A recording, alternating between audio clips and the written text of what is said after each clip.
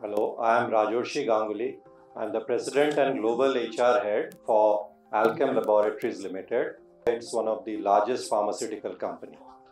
I think Great Place to Work certified is certainly a very good external endorsement for the work that all of us are doing.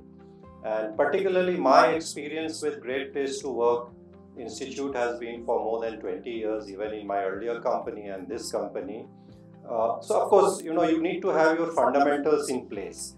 And once you have the fundamentals in place and you create systems and processes uh, along the, you know, the different pillars of a great place to work model, it helps you to kind of look at the entire HR function in, in a holistic way because sometimes what happens is you know we tend to focus on a particular dimension but the great place to work model helps us to give equal focus to multiple areas like you know pride camaraderie uh, so on and so forth so i think once uh, you know you work on all this area you really you know amplify the experience people get in the organization and and once you feel uh, you get the certification it also helps you to uh, you know, kind of uh, create a good employer branding.